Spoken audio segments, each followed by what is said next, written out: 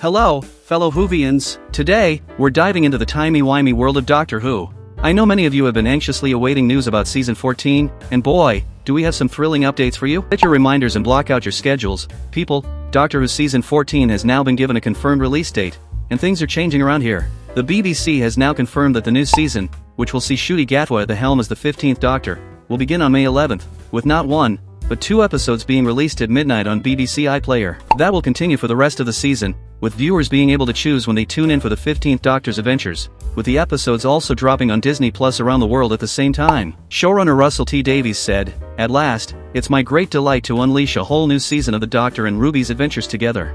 The exact release date comes after the BBC announced that season 14 would premiere in May 2024, with the news being revealed on Christmas Day, after the Church on Ruby Road aired.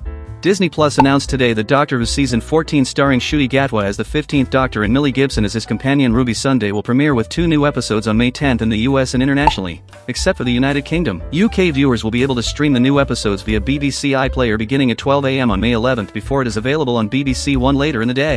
In a press release about the new season, Davies teased that the Doctor and Ruby's adventures will involve a terrifying secret that's been spanning time and space for decades. Doctor Who Season 14 will might release in May 2024.